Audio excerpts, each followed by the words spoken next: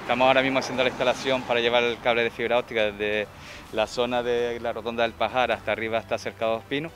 para dar servicio lo que es de red de fibra a Cercado Espino y alrededores.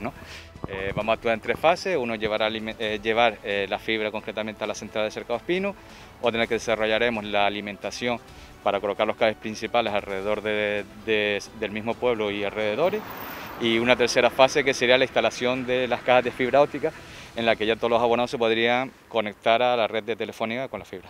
La intención de Telefónica es de aquí a dos años que toda Canarias tenga fibra. Bueno, esta creo que fueron 178.000 euros. Eh, junto con San Bartolomé de Tirajana hemos hecho un,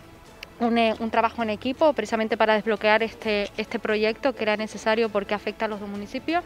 Esta realidad e incluso la comercialización llegará en el primer semestre, por tanto, otro objetivo cumplido por parte de ambos municipios y el beneficio sobre todo para los más pequeños que lo están padeciendo mucho más con el, con el trabajar desde casa con todo, este, eh, con todo esto de la pandemia. Que Mogán y San Bartolomé Tirajana hoy es un día importante en ese facilitar el día a día, la conexión a los distintos barrios del municipio. Un municipio tan extenso, San Bartolomé Tirajana es muy extenso, hoy se beneficia de esta actuación, de esa inversión de 178.000 euros. Pues comentaban antes unas 324 casas, hogares, y nosotros destacar desde San Bartolomé Tirajana que básicamente se va a beneficiar Cercado de Espino. Y como decía también la alcaldesa de Mogán, en momentos de pandemia hemos visto más que nunca la necesidad